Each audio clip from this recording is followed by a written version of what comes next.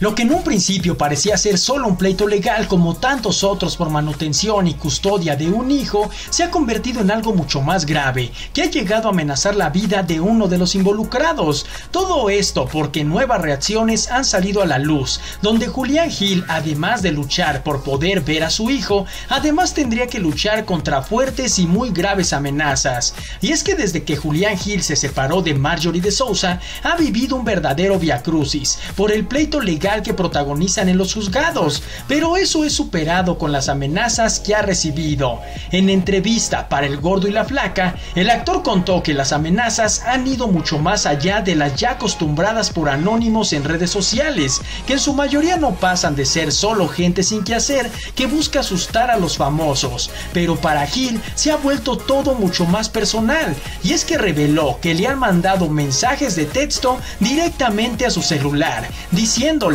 o te quedas quieto o amaneces con moscas en la boca. Es por esto que el actor está temeroso por los alcances a los que ha llegado todo esto, aunque no acusó a nadie si dijo, no sé, pero mi hermana y mi mejor amigo no creo que sean los que me los manden. No estoy señalando a nadie, pero ya está en investigación. Ya están localizando ciertos teléfonos de donde han salido estas cosas. Tengo que defenderme y tengo de alguna manera que parar esto, de una forma legal. No es bonito recibir información de que hubo contacto con sicarios en tu contra, que ellos podrían ya estar tomando acción. Fue lo que dijo sin dar más detalles, pero de dejando al descubierto que por la información que tiene las amenazas sí serían de verdad, por lo que no se trataría en esta ocasión solo de un intento de asustarlo, en tanto el pleito legal con Marjorie sale de su comprensión. La madre de mi hijo me ha querido ver preso, no sé qué es lo que más quiere conseguir,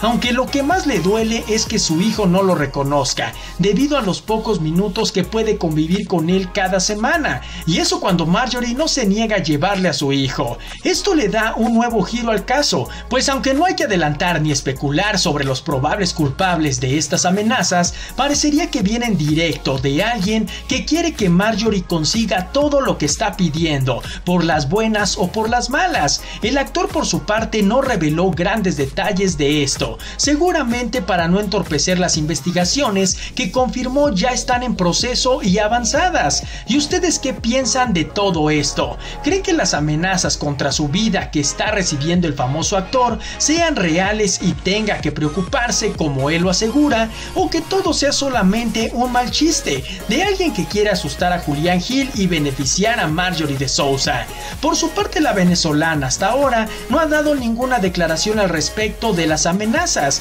que está recibiendo su expareja, pues las cosas que están viviendo ambos son muy diferentes, ya que mientras Marjorie disfruta de la compañía de su hijo y de pasear por la playa, Julián Gil tiene que luchar por ver unas cuantas horas a su bebé y ahora hasta tener que preocuparse y cuidar de su vida, la cual se ha visto amenazada por lo que él dice son verdaderos sicarios. Si te este video, dale like y compartir, ya que todos los días te traeremos el alboroto de los famosos.